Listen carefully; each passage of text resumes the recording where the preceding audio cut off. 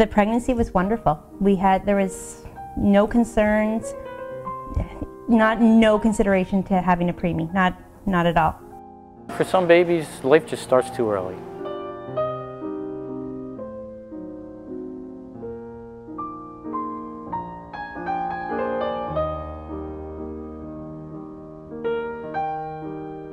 My daughter's best friend, who was my neighbor, was in an isolette.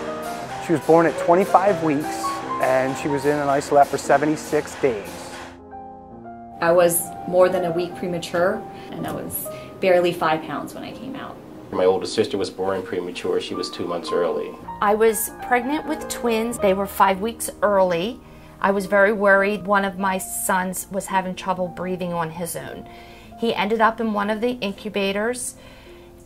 To us, he just looked so tiny. It's unbelievable how small they are. You think it's just, the baby is small, but like what you see in the NICU is amazing.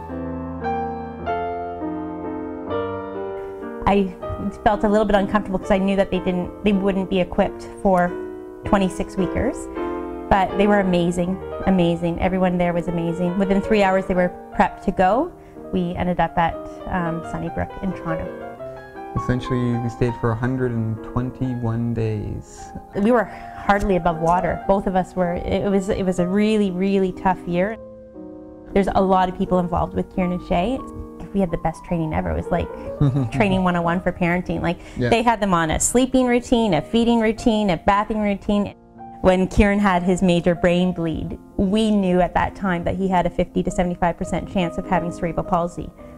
Um, but as time went on, especially with Kieran, we embraced the fact that he chose to live.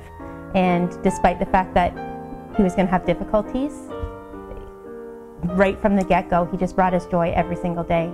Well, the problem with uh, with prematurity is that it's still on an increase in the rise within states and globally.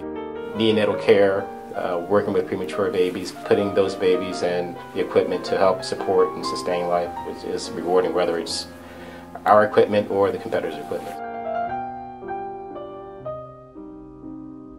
Uh, my niece was two months premature. I actually uh, work here on the production floor assembling uh, the C2000, the I8000 incubator. I, you know, I take pride in building it. I always tell her, see that? I saw you in an incubator and 30 years later I'm building them. I feel like I got to live a little bit of it on my own and to actually see, wow, what we're doing and what difference we're making. I, I worked on a machine that saved my daughter's friend's life. To know that you had some input on something that saved a kid's life, that's kind of special. People have been here for a long, long time and they stay. And I guess there's a reason for that. We are about making and designing technology for life. We always like focus around the baby. We're trying to make it comfortable for the baby, but also for the parents. We, like any other parent, want exactly the same things. We want them to be happy. We want them to be confident in who they are. We want them to love themselves. Um, we don't want the disability to define them.